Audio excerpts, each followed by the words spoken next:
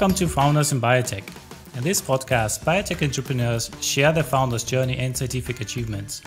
I'm your host, Serghei Glinca. Today's guest is Professor Yaniv Erlich.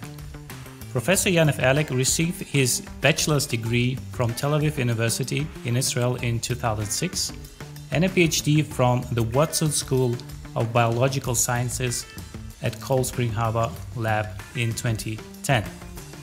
Yaniv Erlich was an associate professor of computer science at Columbia University and was a PI at the Whitehead Institute MIT. His research interests are computational human genetics. Yaniv has been an advisor to multiple companies in the area of genomics and bioinformatics. He also authored over 40 peer reviewed scientific studies, including multiple papers in Science, Nature Genetics, and Nature Methods. He holds five patents and has experience in both B2C and B2B in the area of genomics. Professor Yaniv Erlich was the CSO, Chief Scientific Officer of MyHeritage, uh, what we'll, we'll discuss during this podcast. And currently, he is the CEO of Eleven Therapeutics, a company that he co founded in 2020. Eleven Therapeutics is a biotech company focused on development of groundbreaking RNA therapeutics. Thank you so much, Yaniv, for joining us today on Founders in Biotech. Yeah, thank you very much, Serghei. Happy to be here. First of all, we would like to learn more about you.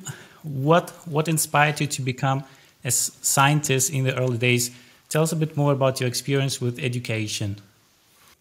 Yeah, it's a good question. I don't know. I always imagined myself being a scientist, like since I was very young, and I was just fascinated by the ability to kind of like use you know use our brains to to build new things and and to basically kind of like in a way control reality. It's it's one of the most exciting and successful human endeavors uh, to be a scientist. And also it, it means that you're kind of like on the verge of of the unknown right? Like as a scientist what you know kind of like we are in such a special position that we people actually pay us money to be at the frontier of you know basically the human knowledge and looking for new ways to expand our knowledge as humanity about this world. So, like, what's a privilege to be in this type of position. So, in you, what was your first um, um, first step into the science? Um, I remember al already at the school you have some uh, projects, successful projects already. Yeah, I was like you know like early on like drawn into science. In fact, even in my high school, I was uh, studying um, kind of like I wanted to study like physics, but also social sciences, and I did my some some work in kind of like um, quantitative analysis of psychological traits as part of my uh, finishing my my high school diploma, which was actually quite interesting, and uh, to do some. Um, linear regression and R squared. I was just fascinated by this idea that you can look at some data and you can actually mm-hmm fit an equation and get a, like a slope of a line that describes some mm-hmm. sort of like a relationship between two things, and the relationship has some meaning. So I, I, was just drawn by the ability to reduce kind of like observations into quantitative laws. Um, later on, I was um, in Israel. We have mandatory army service, so in the army, I, I um, served in the Israel intelligence, and that was kind of like street fight math and um, computer science in a way. Mm-hmm. So this was a lot of like it was just a, also another privilege that I experienced was to basically be there, and it's a very different you know what you imagine of an army of like you get orders and do stuff. It's also almost the opposite. You have like kind of like almost like total freedom to do whatever you want in a way mm-hmm. and uh, to experience different things to build different things to just test your ideas you're very young you know in your like super early 20s even before in, in, in your 20s. And there is like, in a way, in the army, like no resources at all because there is no money, right? You cannot buy stuff, but there is also infinite resources because like everything is free in a way. You just need to convince people to give you access to, to different things. So, and, and you have this expensive equipment that you can try to use and just like expensive labs. And, and so you just need to basically harness like the, the buyout of some people to help you like in your projects so it's a, in a way it's kind of like an incubator. It's basically like an incubator of like so many great founders came from the same place that you know I went to the army. because it's it's a great training, and so that was my kind of like early years in science. Mm-hmm. And you mentioned uh, that you had interest already early on in physics and social sciences. Could yeah, I was quite diverse about like yeah, I wanted to learn about economy and about psychology, but also physics, and I. I had a hope that I can actually bridge between the two, between like you know, like that's like when you are young and naive and you are like you know in your uh, high school that I would be able to study both and I can, you know, like just bridge between the two. But I think since then I do have affinity for problems that are cross disciplinary. In many things, like many, I think some of the beauty of science and the elegance is that you find a solution in one field to a problem in a different field. And even think, for example, you know, let's let's talk today like about uh, large language models, right? So this is actually like you know mm-hmm. we are finding solutions for many like things in the area that what would be maybe you know like 50 years ago we describe as literature as stuff that is related to like human language not as like pure computer science as algorithms and things like that but but a quite big difference between where we started same thing in genomics right i did some work on dna storage how to store information in dna and DNA is a, is a, digital molecule, so you can actually encode it to store files. So it's again, you take two different things, right? One from like mm-hmm. computer science, one from genomics and biology, and you can marry those things together. So I think just as a scientist, I was like fascinated about these hidden connections between entities that breaks what's like you know university or institutional lines about knowledge and about domains and about like. Uh, you know, we have like the School of Engineering, the School of Life Sciences, and the School of, uh, um, I don't know, like uh, humanities. And in fact, you know, deeply they are all connected. Nature doesn't care about like which dean and which school you are. It's like all nature presents problems to you. So um, that would explain why you you were interested in in bioinformatics. So you went uh, to to the US to do a PhD in bioinformatics. Yeah, so in 2006, I moved to the US to, to pursue my PhD. And I I was tasked in my PhD project to, to work on RNAi, which I refused totally because I heard there is this new technology called um, high throughput sequencing. And Cold Spring Harbor, where I did my PhD, was one of the first installations of the Solexa, which is now the Illumina sequencing mm-hmm. technology.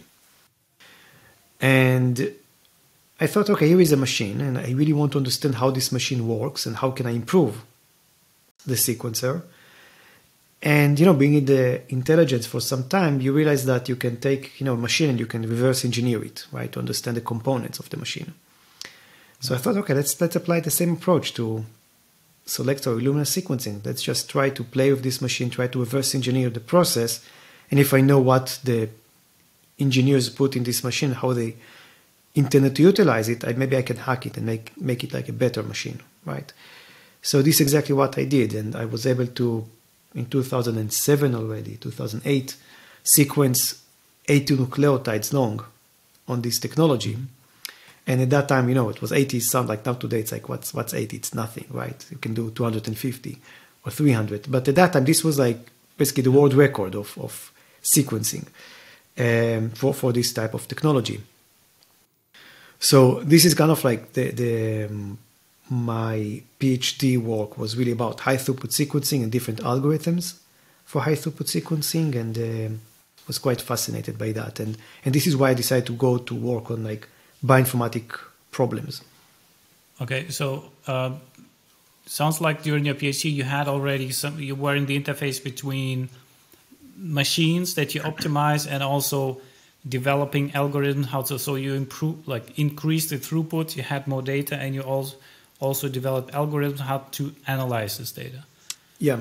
Another problem that i was quite fascinated in my phd it was a practical problem presented by my pi um, which is let's say that you have tens of thousands of samples and you would like to sequence those samples to identify samples with very rare variant or very rare genetic manipulation that you conducted on this uh, population. So if you try to scale it up with high throughput sequencing and to do sample prep, to barcode each sample, and to do a sample prep, it doesn't scale. It will cost so much money that it will be quite cost prohibitive. But what I devised, and this was actually came quite like relatively as a quick solution, is that a method that you can pull these samples in combinatorial patterns. And so kind of like each sample will participate in a small number of pools, each of which with a different type, with different combination of other samples. Interesting. And and then you sequence the samples and you look at the combination of pools that have these rare variants, and you can in many cases deconvolute it back to the original samples. Yeah, I was always fascinated by, by the sequencing technology because it sounds like you don't you don't sequence everything. You just um, have some algorithm or shortcuts what to sequence when, and then you kind of use this information to deconvolute what and integrate it in the data. Yeah. Um, so, so, so yeah, so, yeah. so, so this problem about like, you know, this like combinatorial sequencing is very similar to solving a Sudoku puzzle. In fact, you can see there is a mathematical equivalence almost mm-hmm. between the two problems. Um, you can represent this problem of, of this finding rare variants in groups of samples as if you're in a Sudoku puzzle and you, because in a Sudoku you also have knowledge only about the pools, which are the rows, the, the columns, and the squares. And so kind of like with this knowledge, you need to solve the entire Sudoku puzzle. It's actually a very similar process here. That's that's very Let's pause for a moment and how yeah. like I'm curious how is it represented in in your mind because like Sudoku like and and gene sequencing sounds very distant. It, how is it represented in, in, in your mind this this problem where you say it's it's actually a shared uh, problem? You can actually like both Sudoku and this problem, you can represent them as graphs. Mm-hmm. That each sample is like a node in the graph, and you have kind mm-hmm. of like all the samples, kind of like one long list of like nodes in the graph, and the other, the data that you obtain, basically the pools, are a different type of nodes, and and each the pooling like structure is basically the edges. Mm-hmm. And the same thing you can do with a Sudoku. Like all the like each cell is a node in a graph, and the knowledge about the row, the square, and the col and the column are actually mm-hmm. like the other type of nodes. And it's actually there is a mathematical equivalent to the same algorithm that solves this solves the other the other problem. It's the same algorithm. And and it's I think that's also it's kind of like that's the beauty of science, right? You can go and you look at these different, totally different domains, and there is very like the same solution solves both problems. By the way, there is actually it's entire like in physics, spin glass problems also represent in the same way. So it's like you, you can go from gene sequencing to spin glass in physics to Sudoku puzzles. They all have very similar attributes in terms of the way that you can represent them. That's very cool.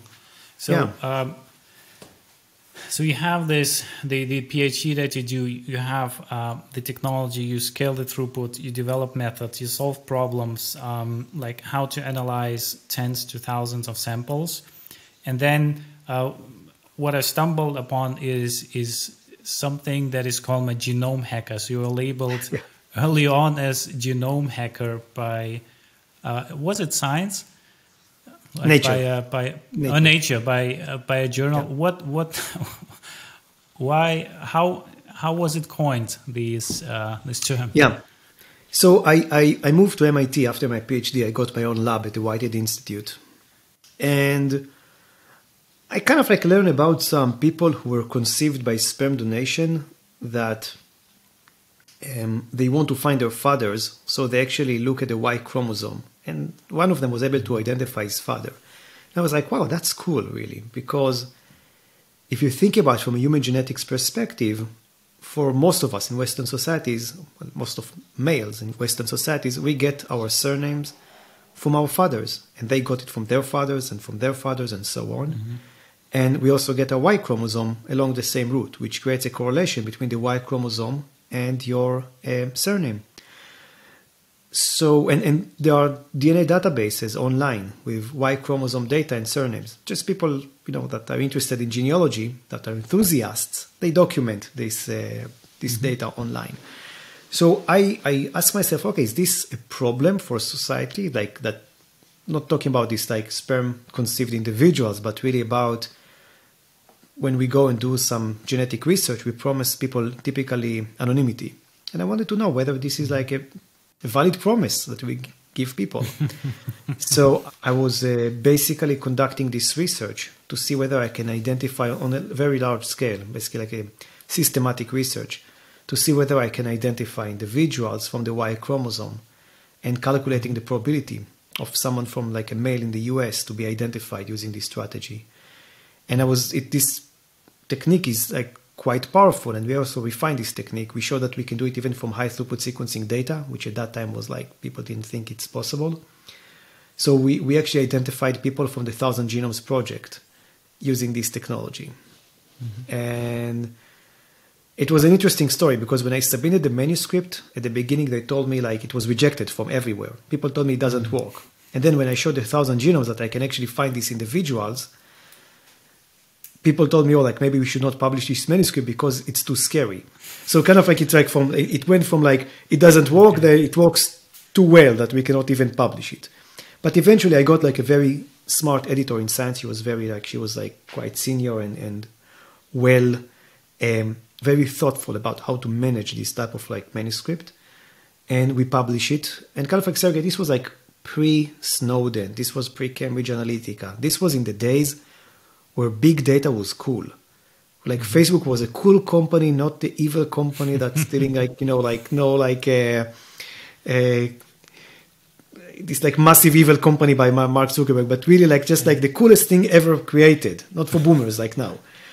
And and so I was not very popular those days, right? Talking about problems in big data and actually showing that there are some unintended consequences in big data, in particular in genomics, that you can identify individuals in a very um, it's not that difficult to, to identify them. So this I got the this thing about like the, the genome hacker uh, by nature. The genome hacker. Okay. So, but it's typical with uh, high impact paper, uh, like publications. At first, it's rejected, then it's maybe published in some minor journal, and then uh, in your case, it was uh, you kind of added the, the additional data and it was published uh, on High Impact Journal. Uh, but uh, at least from Drug Discovery, I know a couple of publications that were rejected initially, but then um, the industry adapted some uh, some methods. Um, but it seems like you have a tremendous academic career. You develop some um, technologies that are first rejected, but then adopted, and um, you become kind of a leading a key opinion leader probably in this in this space but then you can decide to work for a company. Um, although like things you have developed this the innovation was uh, comes from academia but then you decide to switch to to company become the chief scientific officer of MyHeritage. What was the the, the process behind it? Yeah so i think that, that it's a kind of like a few things that happened like you know at the same time. The first one is that I was curious about companies for for like quite some time, right? So like I was quite lucky that early on in my career I was asked to be a consultant of several companies. Mm-hmm. And I was like was like, you know, like thinking, okay, like how does it like work on that like, you know, for these people, right? Like, you know, like so just like was fascinated by how they operate which is quite different side. in the way that academics operate and the way that academics think. And so and also the ability to build very large teams. It's, it's very different than the isolation that you have especially as a pi right? So that was like one element. The second element is that in 2015 we put together an academic website called dna.land which this website was um, the point was to crowdsource genomic data from people to say, okay, if you participated with 23andMe, MyHeritage, uh, Ancestry.com, you can donate your genome for genetic research. And as kind of like a token of appreciation, we will analyze your genome in a different way and we'll give you some hints about your genome. So I had to build a few algorithms to like to do that on, on a scale. And the website was immensely successful. When we launched the website, on the first week, we got 5,000 genomes.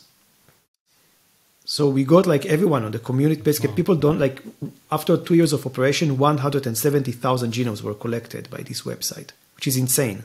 Think about an academic project. Yeah. Suddenly have like, you know, more data. At that point, was like almost like the UK Biobank developed by, you know, a team of like a few individuals, like in terms of genomic data. But to build, actually to run this website, this was a total nightmare from an academic perspective because mm-hmm.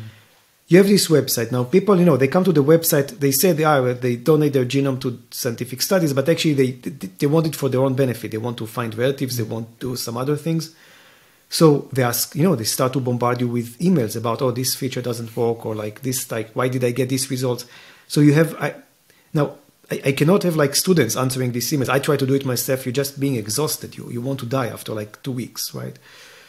And I so I eventually I was able to hire someone to basically come twice a week to answer emails. But then you think about okay, what are, what is the next feature? How am I developing the next one? So it's kind of like product development. But product, mm-hmm. you know, PhD students they need to graduate. They don't want like to develop. That's fine, right? You you cannot find like a product manager. So at some point I was like, okay, you know what? I'm quite curious about how you can build websites like that.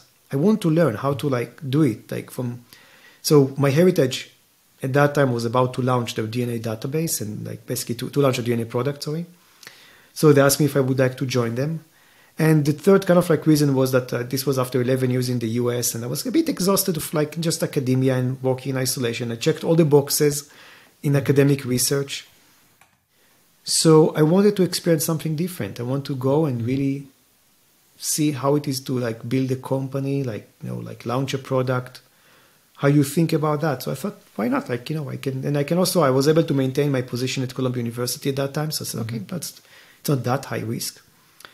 So I think all these like, you know, four reasons, right? Like it's like mm-hmm. I was mm-hmm. always curious about about companies, my experience in DNA land, wanted to go to Israel, just kind of like, you know, being like closer to my family and this unique opportunity to be part of like a company that is mm-hmm. like you know very successful and learn about those type of things we're all like coming together um, it's interesting it's a, the typical you launch a product you have traction need customer service product development um, etc um, so MyHeritage is quite quite successful um, and um, you apparently had some significant impact, um, although um, it's I haven't found a lot of a lot of data about that. But just analyzing the data, I assume it had led to uh, great products.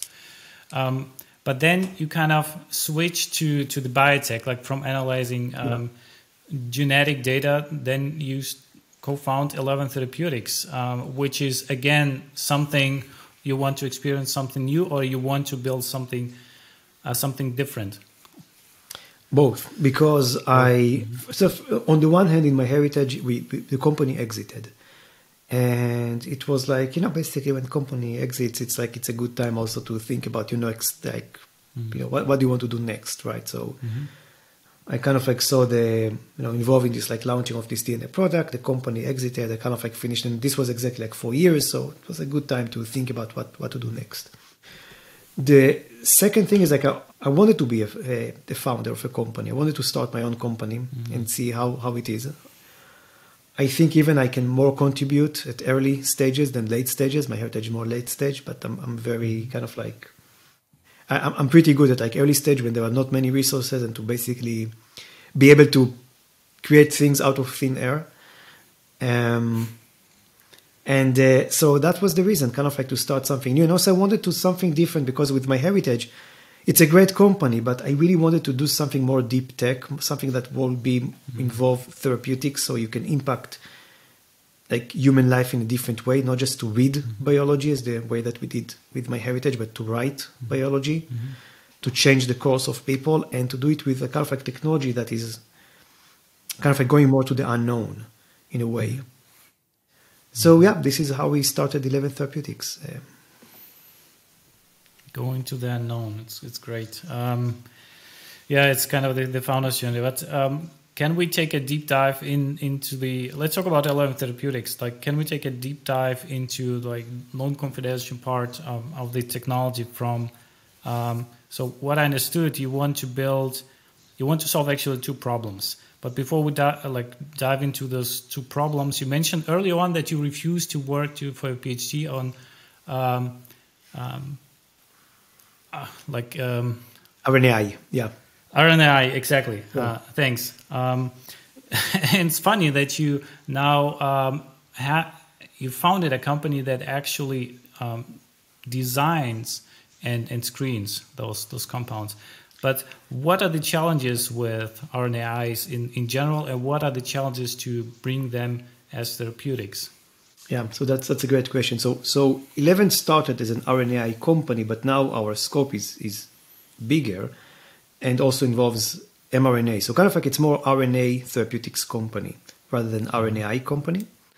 And so the challenges of RNA therapeutics is really the, there is one part is the delivery of these molecules, and the other one is our ability to really unlock the value of these therapeutics from the like the, the chemistry. So chemical biology really is a different problem because mm-hmm.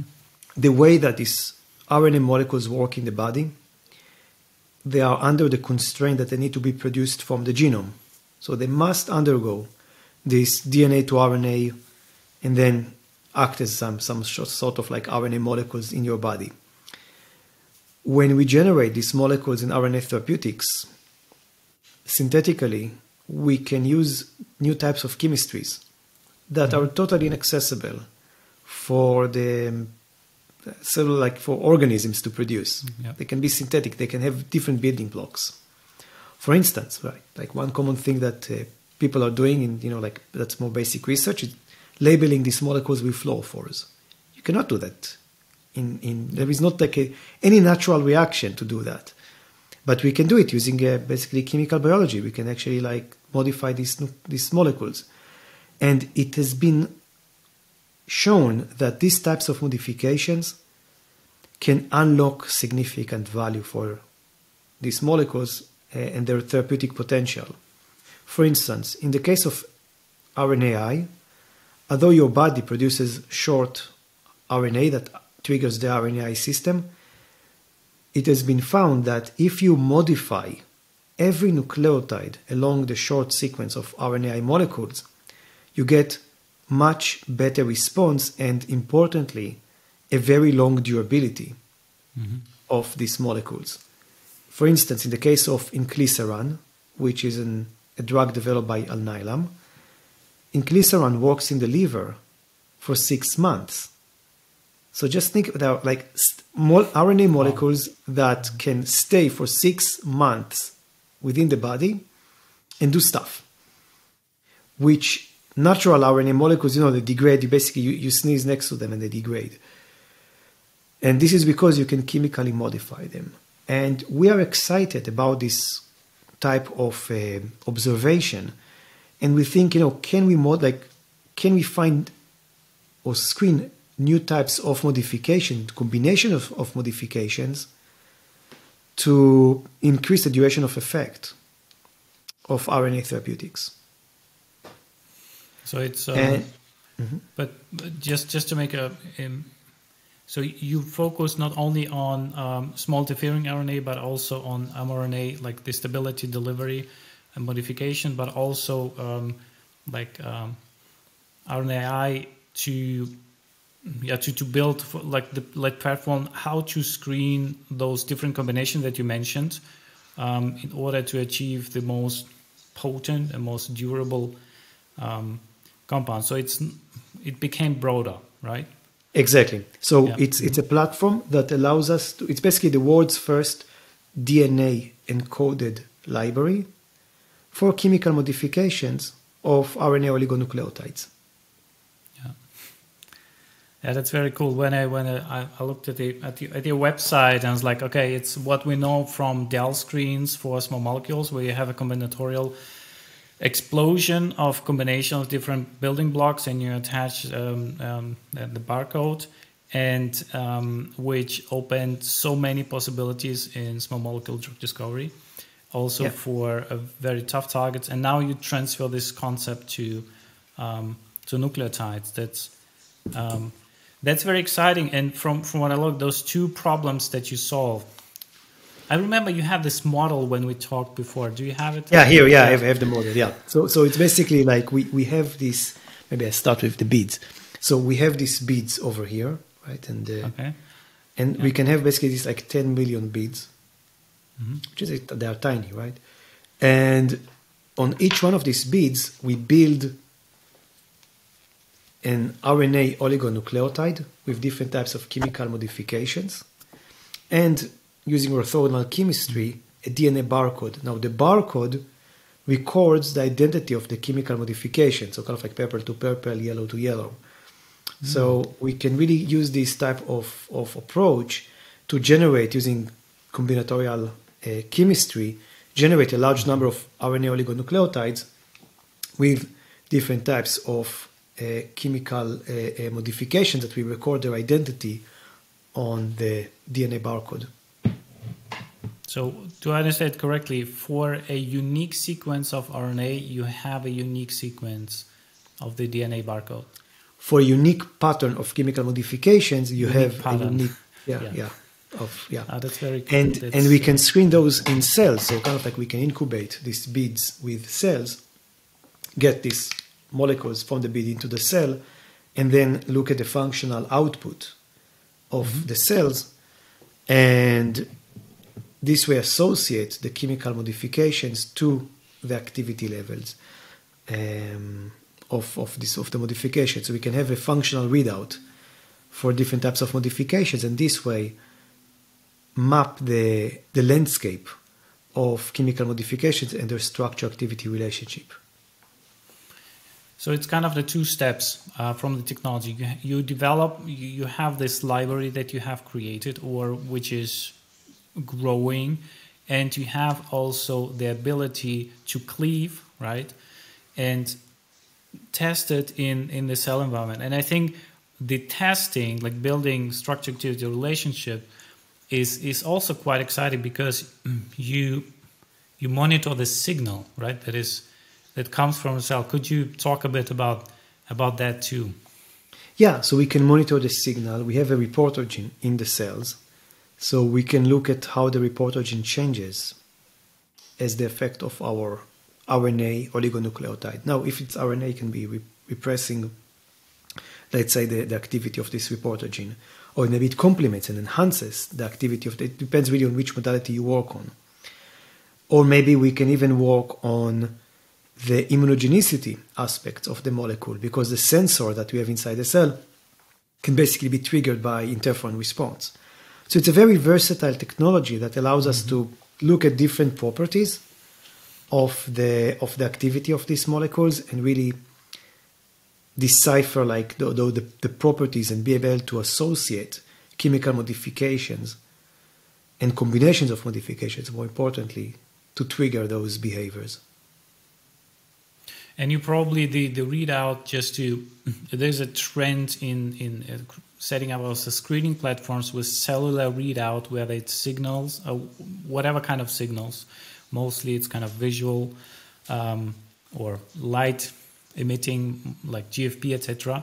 Um, or or um, create like the I'm looking for the right word. The so you have different colors of cells, so you kind of um, differentiate it, and then you you can use these images and apply machine learning or computational like computational yeah. approaches to to detect the readout that you like detect the signal. Uh, so it's not these are not images; these are actually flow cytometry. Basically, you look at the flow cytometry and, and you sort the cells into expression mm-hmm. buckets yeah. and you sequence each bucket. Okay, so okay, you detect then in sequence. It's it's similar to like what I know from from the DEL. Um, in, yeah. in small but usually in typical so in DEL there are like two differences. One is that here we have this like on beads because we need to be able to generate both the DNA and the RNA mm-hmm. oligonucleotide on two separate locations. And the second thing is that with DEL, you can use just the proteins. You don't do it typically in cells. You just take a protein yeah. and do that. And here we do it with cells.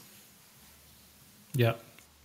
So several challenges uh, uh, that you actually have have overcome, and I remember reading this paper that you applied it, and within on on on in in the context of um, of COVID. Um, this was a very different technology. COVID, we, we, we did something else. This was a different kind of else. like algorithm. This is where we started basically. We started with like an algorithm to identify the most potent siRNA molecules. Yeah. But then we realized that you know that's a nice problem, but the more interesting problem is to identify the chemical modifications to those yeah. molecules. Yeah. But still, you had a, in a relatively short period of time, what a picomolar, um, yeah, a picomolar activity of those compounds, and I found this is like mind blowing to have like the the to identify such a potent compound within a short period of time. Yeah, it's pretty neat. Yeah, we're very happy about it. All right, so let's switch um, switch gears to um, like you, your your founder's journey again. Mm-hmm. Yeah. Like, for example, you come from academia, and you said like in academia you can play one game, but in the company it's a it's a different game. But but for you as a founder, where there's particular core skills from academia that were very practical in the context of, of a company or starting a company? Yeah, so I think kind of like, you know, there are some similarities. First, you know, science is science and scientific method, scientific thinking, your ability to put proper controls, making sure that you, you know, you don't cheat yourself, basically. It's the same. Um, there are some similarities in communication skills in academia, you need to, to have a job, you need to know how to tell your story, to go in front of an audience and to be able to, you know, basically tell them your story of what you did in your PhD or your postdoc to get a job. Sometimes when you have like some grants also require you to come and actually, you know, basically pitch your idea. And you need to think how you craft it. It's similar in some sense, it's not identical, but similar in some sense when you go to VCs and you need to pitch them ideas, right? You need to mm-hmm. craft somehow your message it's a different type of message, different type of story. It's a different way, like you know, it's there is a, it's a different process, but there are some core skills that are transferable in between the two. Also, running your academic group and even starting an academic group, it's some sort of entrepreneurship. You come to a mm-hmm. place, there is an empty room, and somehow you need to grow a lab, you know, in this like empty place. So, do, like it's a zero to classic zero to one thing. In a company, also, there is the same same kind of like you know there is nothing and you need to create something out of this nothing. The difference is i think that when you start a lab although it, it's it's not an easy task i don't diminish the um, difficulty in starting a lab you're still part of a university. You're still part of a very big system that knows how to help people who start labs and so you have your you know HR like like all the legalese, all the stuff that is involved like procurement, everything like is set up. When you start a company, it's a clear slate, mm-hmm. and so I think kind of like the cool thing about starting a company is that when you, in academia you have academic freedom, but it's a bit kind of like French fries or electric chair. It's not a chair and it's not like French, right? It's like these are two two words are not describing the one thing that they are describing. So it's it's not the same. Like academic freedom doesn't mean freedom. In a company, when you start a company, you have much more freedom. You decide on the structure of your company. You decide on the location. You decide on the HR policies. You decide on the like, you know, what is the legal entity that you would like to create. You decide if you would like to have, you know, I don't know, like ESOP for your employees, or you want to run it like some LLC that, you know, like no, nobody gets ESOP beside there are so many ways of doing that. Kind of like in, in a way, society tells you whatever is legal is okay, right? It's like that's a bit of capitalism. They tell you, no, you like we don't know how to innovate. The, basically, the, the government tells you we don't know how to innovate. But like here is like the legal framework. You can do whatever you want within these like these boundaries. Do whatever you want. In academia, it's much more restricted, right? They tell you, okay, we know how like people should start a lab. For instance, in a company you can have like you know you, you can decide that you want to have a, a, co-founder it's very common actually it's actually very helpful mm-hmm. to have a co-founder Have I found my co-founder. You know, it's a great combination, and took a lot of burden for me when we started the company. In academia, they tell you no. There is only one founder to the lab, which is a PI, right? We don't have like we don't co-hire people or, or let's say that you know you do a group of like you work with a group of students and, and you publish this beautiful nature manuscript. Fantastic nature manuscript. Now it would be like only like reasonable that what if all of you could be hired by this university to keep working on the same thing mm-hmm. right? You cannot do that in academia. No like no way. They cannot acqui-hire you suddenly or something like that. It doesn't work. It's like one person one lab. And and also it creates all these tensions right? Because as science becomes more like academia started you know 800 years ago. And then you know maybe you had this like you know hundreds of years ago this like renaissance genius says that oh, you have like newton. Newton didn't have this like co-author right? It's like so you have leibniz but, but you have this like people they worked alone and they worked alone because science was very different those days. But we developed all this academic system to be like to support this like you know like stuff like 400 years ago 500 years ago which are like working alone, the individual, like you get you get a PhD degree, you don't like have you don't co PhD degree, right? It's like your PhD degree, and you're in the lab. It's like there is a one PI. The lab, this is the structure, yeah. and then you realize that. But but you know, like in you look at like modern science, it's actually it's it's teams of people coming together and working on some some problems, and sometimes they want to work on more than one problem. But the incentive structure and the legal structure and the in organizational structure favors individualism, which this leads to some scaling problems. In companies, much more flexible, right? You can work by yourself, you can be like a sole practitioner. You can be a sole practitioner who hires like many consultants. You can have like a small group of people working together as a partnership. You can actually have like a C corp, right? There's so many ways that you can do it, and you, and you can also so many ways to incentivize people some of which like you know it can be like money of course it's easy and you have unlike university you have full control how much you want to pay to people right? Whether it's like salary it's like bonuses it's salary and benefits you control that. Then you, you can give equity to people which is actually very like we cannot give equity in academia right? And equity is a very strong motivator because suddenly we have this group of people with different incentives and tell them listen there is like long-term goal sometime like you know some like few years in the future that if we are all working really really hard now we're all going to benefit from that thing. And it's like quantitative and you can kind of like even know like this like you know the the mechanics of it right? Not some vague yeah. promises. So i think that's kind of like you know like i think it's capitalism has some you know some problems in capitalism but it was quite great so far in to foster this type of innovation. So I'm not saying it's like the perfect system, but it enables a lot of freedom. Whereas academia, who didn't adapt, that didn't adapt in the past, like, you know, mm-hmm. 400, 500 years, we have this system that I don't think people like, no, it seems like many people after their PhD now are leaving academia. They don't want to stay because they are like, you know, they, they've got their degree. Okay, I don't want to be in this system anymore, which is a bit sad. Mm. So we need, I think, in a so, way, to, to rethink innovation, like rethink about academia, which is also weird. You think about this, like people tell you, oh, in academia we're innovative, we're super. Yeah, but you guys never like you don't innovate academia itself. You're just innovative about mm. science. But what about like the way to produce science?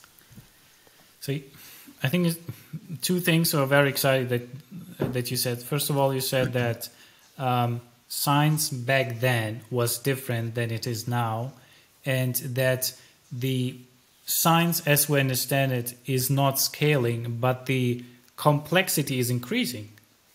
Yep. Um, of science because we have more data, we have more disciplines, uh, we have new technology, etc. Um, and and you also said that going in like you were at MyHeritage, you were part of the company, and you start a company. How could you define the, how could you bridge the gap between there are so many possibilities uh, to do equity, incentivation, strategy, operations, geography, etc. Uh, what was um, the thought? Maybe the maybe I'm not talking about the framework, but what was the the way you could identify? Of course, it's kind of it's adapting to to the feedback you're building. There's some data and um, etc. But how could you bridge like or bring those different parts together, all the complexities, so you have oh okay, so we are we're going to do this. I mean, there, there are many many questions, but it's kind of the uh, the empty space is like academia structured, many possibilities, but we still want to do science. You know how to um, how have you brought those different possibilities you know what might be called a, a strategy or uh, or company or direction. So I, I think you know so so some of the things in a company that you can do is like you don't need to be like if you don't want to innovate the structure you don't need to innovate right? It's like for startups there are certain kind of like frameworks that are quite simple that you can when you start your company you can you can start right? So it's gonna be like you know a c corp. Very easy decision, right? Like most startups, if you want to get venture capital money, it's probably you want to be a C corp. Not very complicated on that end. And then the geography, it, it's a combination. Like where do you want to live? Where is the talent? Where, where can you raise money? Mm-hmm. Hopefully, you have like you know also a reasonable government that can basically give you the framework to operate within this, with, you know, with this geography, and will not suddenly will uh, nationalize your company or will uh, basically steal all of your IP or something like that. So, and I think, you know, the Western world, we are quite lucky to be like, you know, like many places are good places to start companies these days. Mm-hmm. I just think about, you know, like 100 years ago, something like that, right? That would be like quite difficult when the banking system is like, you know, shaky and governments. And I think we are, no, we are okay. Some problems, but overall, we are in better shape than 100 years ago. And so I, I think many things, it's, you don't need to innovate. I just said there is a, like, there is a very there are different flavors that you can select but if you don't want to like waste your time on and, and to innovate in those directions simply you can go and just use these very well-known frameworks mm-hmm. to start your company. Then you kind of get to the more tactical things about your compensation structure about this and and in some cases that's like the culture that you would like to set in your company and different companies have different cultures. It's really about the values that you believe in. So there are no right or wrong answers here. Mm. So every person needs to kind of like, and, and this is what I think it's useful to have a co-founder because I speak about those things with my co-founder all the time. So we bounce ideas and we keep like, you know, every, every day we like, my wife says that I, I talk with him more than with, with her, right? Because every day we, we're like in two different geographies, in Israel, I'm in London, but we have like two, three phone calls a day, just random phone calls. Just you know, we pick up the phone and we call each other just to comfort yeah. each other. Like, here is my day. This is what the stuff that I'm thinking. So we can bounce ideas all the time yeah. and and get this like feedback and and making sure that you know like some things that you know like I, I wake up in the morning, I have like 100 ideas, 95 are really bad, three are dangerous, two are okay. So he's the guy that's like, listen, like these are dangerous. Like don't don't do that, right? So that's I think part of I think the beauty of of this process of this like constant and it's what is exciting about you know this journey that you have to take all these like different decisions there are no there is no right or wrong and and and you but I, I think I enjoy it because I also go to this point like I think you know getting older like I don't know like it, it gives some more maturity and and more sense in a way how mm-hmm. people like you look at other people you know it's easier like for me at least, it took me some time, right, to, to be mature enough to better understand what ticks them, what do they want, how, like, try to understand their agenda and see how I can harness, you know, like their motivations and see whether, like, how it can be aligned with the stuff that I want for the company. And so you, it's really like, you know, like, that, that's, I think, the beauty of it. We are like, you, you form a team of people that are working all together and of course, you know, there are some always some tensions, always some, you know, people have different motivations. So we're all imperfect individuals trying to create something bigger than us. That's the beauty of it. And this process that, and then, you know, then I have some scientific problems to work on. Or I need to find the right person to the right scientific problem. So all these different types of things, that's I think the beauty of being a founder and starting a company I think so what you just said very, is just, just it's, it's beautiful. Yeah, it's, it's, a, a very fulfilling, uh, very fulfilling uh, process. Yeah, uh, that are trying to create something bigger than than us. Uh, that's it's very yeah. cool. Um, So with Eleven Therapeutics, you, you, from from the beginning, the idea was to have a platform. The idea was not to have assets or create assets and put yeah. them. It was about unlocking new possibilities with RNA. Exactly. I, am I, would like if it was just an asset company. This was not the company. I, I, would be the wrong CEO. I would be like a, yeah, yeah. a very bad CEO for this company because that's not my forte. Yep. Um, okay. And Which, um, by, by, the way, Serghei, it also brings us maybe like yeah. you know like to this question of like when people start companies, people you know everyone talks about the plat the, the product market fit. It's mm-hmm. really about the founder problem fit right? Are you like, you know, the right founder oh, to work on the problem mm-hmm. that you're trying to solve, right? And and you have to work on stuff that that works for you, right? I'm sure I could I could found like I, I could you know start like mm-hmm. ten different companies, probably most of which will not be my my forte will not yeah. be my right fit, right? So this one is actually something that I think I can you know add something to this company beyond just like okay like I'm I, I, I like to be a founder yeah, but this comes along with some self-awareness, right? You had experiences where you know you're good at. You have experience where like it's something where other people like or, or are better than me. Um, yeah. Or I don't have patience with this type of problems, but I, I like this type of problem. exactly, exactly. Or, or at least I, I, I know that the stuff that I don't know very well, and I can bring the right people, yeah. which is also like you know some founders have that talent that they can you know we, we know how to recruit this like type of people. It's fine. So again no rules but it's kind of like more of a process of self-awareness. All right uh, let's switch for a couple of minutes to um, to provide some from your experience. You come from academia. What would you recommend for academic uh, researchers that think about starting a company or join a company? What what is the like? What are the major differences? Yeah, that's a fantastic question. I'm so happy that you asked me this this question because one thing that academics they are not aware of is different types of companies. The thing about being academia, it's like when you think about you know you think that's a different postdoc right experiences most academic institutes are very similar to each other in a way, right? Like you go, like you cross, you know, United States, like go to West Coast to this, like Stanford to MIT. It's very similar. Yeah, there's different flavors, but very similar. The concept is similar. You go to Berkeley, which is a state university, and then you go to like a Columbia University.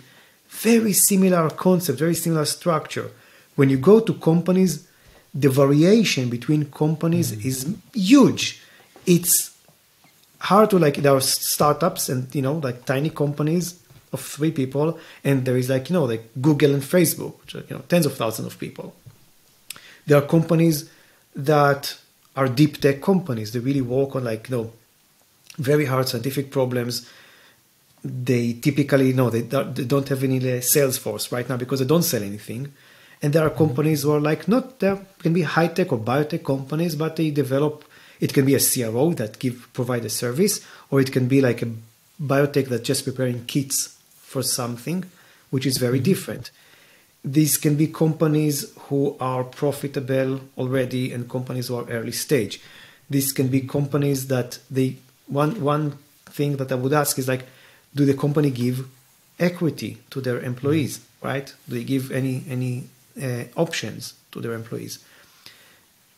What's the funding situation of the company? What's the runway of the company? Is it like that's what's the structure of the company?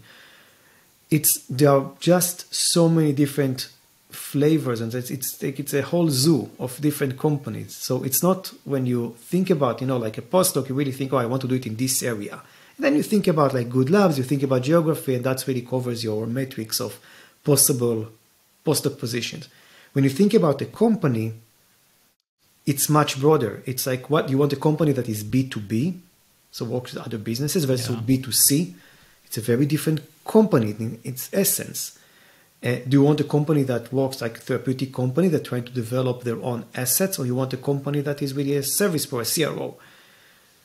It will dictate the dynamics of the company, the culture to some. Of course, there is also the each company is different even within the same domain but will determine your, your responsibilities, the tolerance for failures, the compensation structure. So it's good to kind of like understand what is the company in terms of the like the mechanics of the company, in which domain they are really, and not just oh they work oh they work on uh, high throughput sequencing. That's interesting. Yeah, they're you know very different companies in that domain. Um, so you would would it, you would recommend like to dissect some kind of the, the client base, the stage, uh, the structure, the compensation, and the culture. Some some some kind of factors yeah. to evaluate. Yeah. I, I you know if, if yeah I would go to the LinkedIn page of the company and I would look the LinkedIn page are they hiring like you know how many positions are they hiring what positions are they hiring mm. what business they are I would go and speak with employees and former employees of the company about the dynamic I will try to learn about the field and see to compare them to other companies. And also mm-hmm. ask questions, right? Ask questions in, in the interview process. It's it's important. Also shows that you are interested in things. So that's like when you are hired by a company. If you start a company, it's a very different process, right? Uh, and when you start a company, I think one like one important thing is like I would like to encourage like people to, to consider having a co-founder. I think it really takes like you know at least like one or two co-founders. Make sure that you have a good relationship with these people. Make sure you do like a founder agreement with them. So if stuff goes wrong, and stuff can go wrong. I was very lucky not to, you know, not to, but stuff can go wrong. So there will be like a good separation. And spend good time with these people, right? Because stuff will get rough very quickly. So you want to learn and to see that you can operate. It's like finding a partner, date with them in a way. And also be very, you know, the beginning, like very, very, uh, like super, super early stage in the ideation stage. Companies are formed like, it's like molecules. They, they mm. form and break and form and break very like, you know, people just like try to find the right thing. Sometimes it stays and then there is, okay, let's start something. Um, so, yeah, I think that's kind of like you know the the stuff. To just like give yourself some time to form the company, to shape it, to find the right partner, to think about the problem, to think about the domain.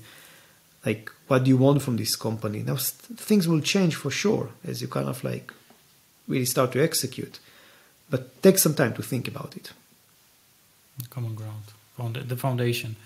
Yeah. Uh, talking about um, molecules, uh, what what are the emerging new technologies in in in the RNA space that you are excited about? Um, what are the new technologies in the RNA space? So I think we see new types of delivery systems that are integrating. Mm-hmm.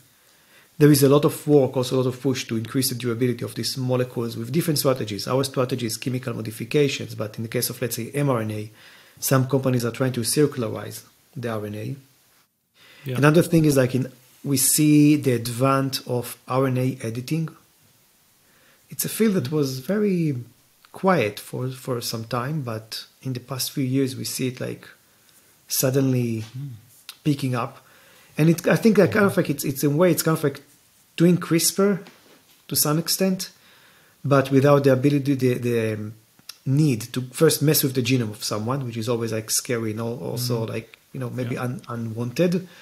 And without the ability the, the need of introducing a foreign protein into the body. You yeah. can program these rna editing enzymes just by like uh, some uh, rna molecule. So this is quite exciting uh, to see. I think not in the field of rna technologies but in a very close field sequencing. We see just an explosion of different technologies. So if like, you know, five years ago, Illumina was almost the only company in the domain. Yeah, Oxford Nanopore was always like the small and exciting, you know, kind of like sequencing company, but not really for like cool scientific applications, but not for the real, like, you know, like large scale sequencing. We see now different types of technologies coming um, from from many companies, from uh, Ultima Genomics, um, Element Bio, um, other companies. BGI has a new sequencer. Part of it is because it took some time to kind of like develop these technologies. Part of it is because Illumina, their patents are Some of them are expired, mm-hmm. some of them are about to expire. So they cannot maintain dominancy. They can, I guess, if we think about like a technology as an S curve, they really in the upper bound of this S curve. It's not like they have any like totally revolutionary thing. They squeezed every, almost every bit of this uh, sequencing by synthesis approach so far. That's how it seems, at least. Yeah. So um, I think it's also exciting, not just for RNA therapeutics, but for many types of um, assays that rely on high throughput sequencing. Thanks a lot. Uh, at least RNA editing was completely new to me. Uh, mm-hmm. Thanks. Thanks for sharing that, Yaniv. Um, we're coming to an end. What's what's the best way to reach out to you? Yeah, I'm on Twitter, Erlich Twitter. That's one way, and people can also like you know send me messages on LinkedIn. And uh, yeah, I think that's like uh, the, the easiest way. Great. In this episode, our guest was Yaniv Erlich, who is the co-founder and CEO of Eleven Therapeutics, a biotech company focused on development of groundbreaking RNA therapeutics. Thank you so much, Yaniv, for joining us today and Founders in Biotech. Thank you, Serghei.